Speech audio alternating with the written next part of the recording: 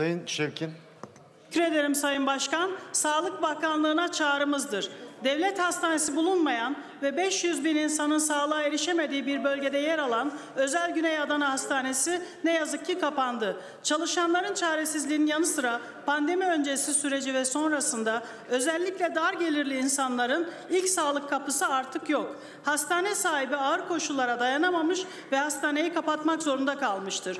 Bölgedeki tek hastanenin kapanması çalışanlarla birlikte Seyhan ve Yüreğir'e bağlı 20'den fazla orta ve dar gelirli mahallenin sağlığa erişimini güçleştirmiştir. Bu tesisin yeniden sağlık kuruluşu olarak hizmetini sürdürmesi kamu yararı ve toplum sağlığı açısından son derece önemlidir. Sağlık Bakanı'ndan acilen konuya el atmasını diliyoruz.